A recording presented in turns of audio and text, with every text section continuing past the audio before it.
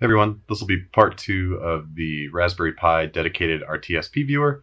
So we'll be running a ethernet line from my switch over here up the trunk across the room over there to the mounted TV. And so first I'll show you kind of what the situation over there on the TV is and what the Pi looks like now, what I want to turn it into. We'll go over some of the tools I'm going to use.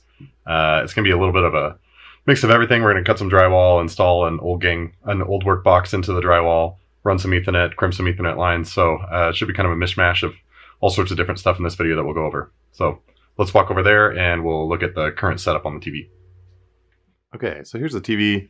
And right now, the Pi is just hooked up to it over the HDMI, obviously, and it's just kind of dang dangling here. Uh, and there is actually an Ethernet box right here, but I don't want to use it for this because I think I'm going to pull that line and probably put like a access point up here or something. And someday there might be a wall here. I might, I might divide this extra space into two rooms. So I don't want to lose that Ethernet box for this particular purpose. And it's easy enough to run a line. Uh, so for context here, run a line from the switch over there up and over to this TV. So um, not going to use that box, and that's why I'm running a new line. And then I'll just uh, run a power cord, get it, you know, nicely stapled up uh, into the TV to power that. And the Pi itself, and I'll go over this later, is actually going to be powered over Ethernet with this little PoE Ethernet to USB conversion thing that uh, it's actually running off of now, and that's working super nicely. So first thing I'm actually going to do though is I think I mounted this TV a little too high. So I'm going to unmount it, and I'm actually going to put a square piece of drywall behind it. Uh, just I don't have to do that, but I think it's just going to look nicer. And in the drywall, we'll install a old work box to put the Ethernet jack in and lower this TV a little bit. And I, I think it'll work out pretty nicely. So first thing we'll do is I'll pull that TV down and then we'll go through cutting a piece of drywall, putting that up there, uh, and then we'll run our Ethernet line.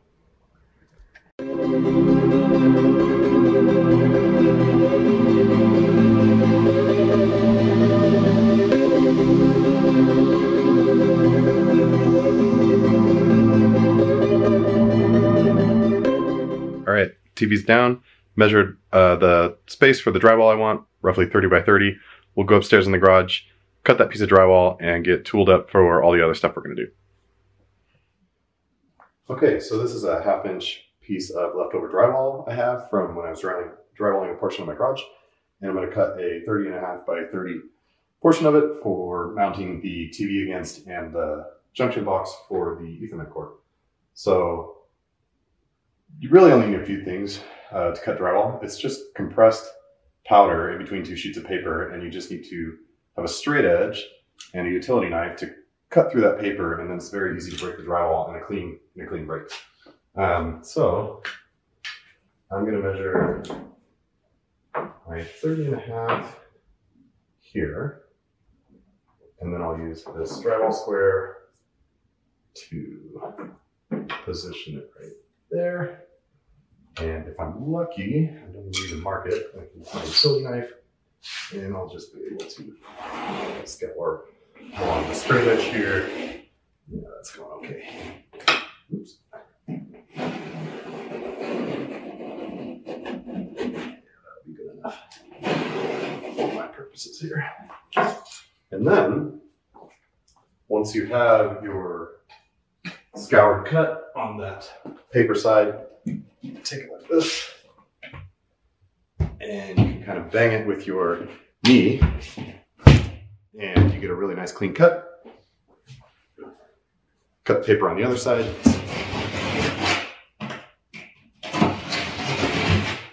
And there you go. You've cut your drywall. So I'll go ahead and do the other corner of this uh, off camera. It's the same process. And then we'll grab some tools.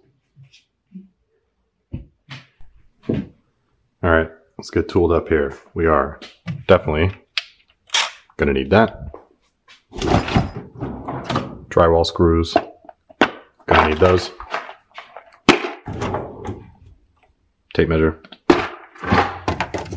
Level for the ethernet box. Probably just gonna take all of this with me because need these to pull out the bolts on the mount. Probably gonna need to drill some pilot holes. Uh, we'll just take this whole thing. Probably bring a pencil, measurements and stuff. Uh, screwdriver. Probably to need that. We'll need this for later, if you know what I mean. This won't fit in the bag, but we're to need it.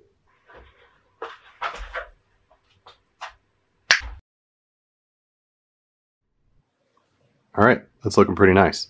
So now what we'll do is I need to decide where to put the box where we'll have a ethernet jack. All right, that's where I decided to put it. Um, now we will actually run the ethernet to that before we put the box in. We have officially transitioned from drywall to ethernet. So I'm on the other side of the room here by the switch up on the bench. And I'm going to pull the cable from here, set it up through these loops. I actually need to replace these clips up here. They're like way overburdened for the amount of cable running through them. So I'll do that as I go. And I measured I need about 20 feet of cable to there. So what I'm going to do is I'll pull, I'll just go ahead and pull about 20 feet of this out, uh, snake it up there, and try to film anything interesting along the way.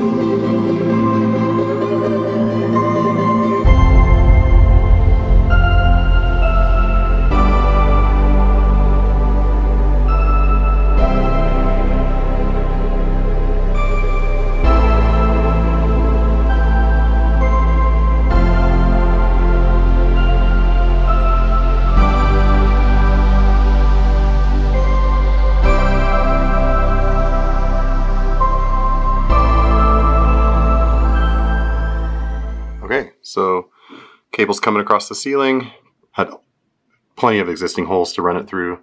Uh, tacked it a little bit to the stud there so it looks nice. And I have left myself plenty of extra cable for a service loop. So I'll coil that up and shove it inside in case I ever want to move this box or or make changes. It's really always really, really nice to have extra. Now you can see like on the light switch there, I'm gonna have a similar little loop just in case anything ever needs to change. You don't have to rerun the entire cable. So we'll pop a box in there and uh, crimp down a connector.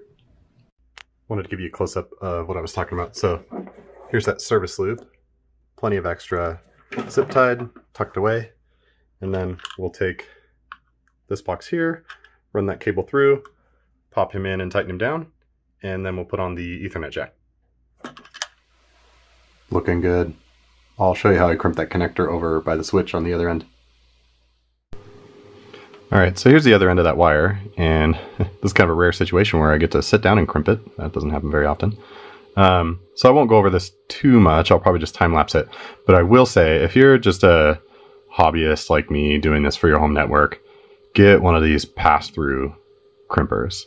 So it's really nice. You strip the wires down, you throw one of these pass-through pass-through style uh, connectors on, uh, you crimp it down. You don't have to worry about getting the wires just the right length or anything like the traditional style.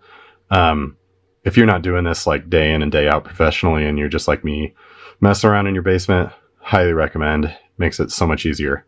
Um, so I'm gonna crimp this now. My whole house was done in the B style. There's two styles, basically just the ordering of the wires. All that really matters is that they're on the they're the same on each end. Uh, I've been using B over the whole house because the guys that networked it um, before I moved in were using B for whatever reason. So just trying to stay consistent.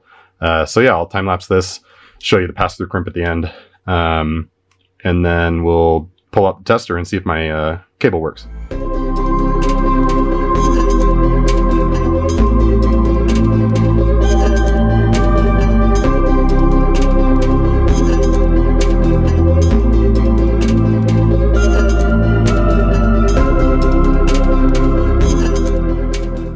So here's that pass-through part I was talking about.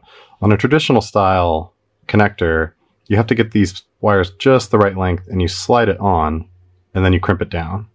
Uh, but with these, the whole thing, you slide it on and you can see the wires come out the top there. Maybe you can see that. Um, and these special style crimpers just crimp it down and cut those off. Uh, and it's just it's for a for a hobbyist like me, it's just so much easier uh, than getting really good. And I just forgot to put the boot on. Um, luckily, I didn't crimp it down. I always do that. So we'll slide this on. That's another pro tip. slide that on before you even start messing around. See, now I got to line all my wires up again.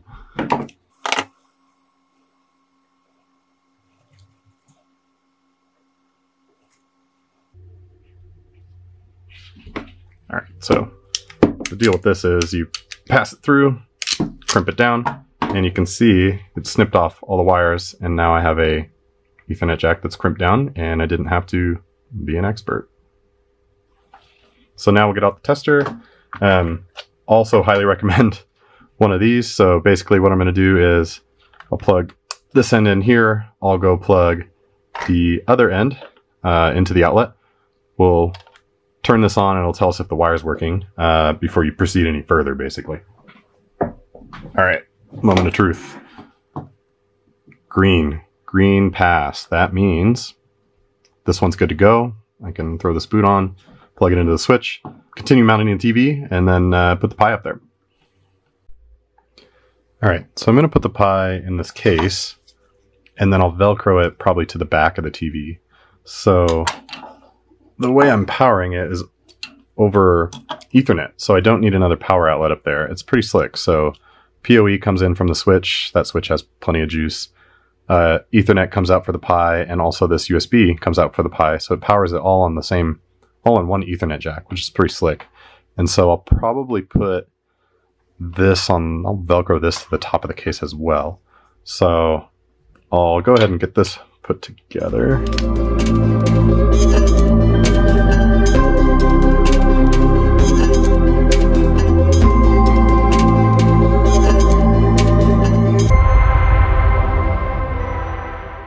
All right, so not the prettiest thing in the world, but it'll work.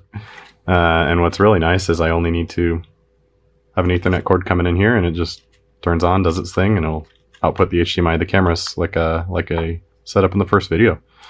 So let's go put this on the back of the TV. We'll turn it on, make sure it still works, and I'll show you guys the finished product. So there we go. TV remounted, Ethernet ran directly to this point, and because I felt like it. Uh, it's all mounted to a nice little 30 by 30 piece of drywall, make it look a little better. So I got power from this outlet and just ran an extension cord up for the TV. Uh, I'm 99% sure doing something like this is not kosher, so I'm just a guy in my basement, entertainment value only. Um, so behind here, uh, I will get a shorter HDMI cable. It's like total overkill and making things messy, but you can see coming out of the Ethernet jack we just installed directly into the Pi. Pi is holding up well, Velcro to the back there. So I'm happy with that. Uh, when this is gone, you know, it'll, it'll tuck away nicely and you won't even know that it's back there. So, um, thanks a lot for watching and see you in the next one.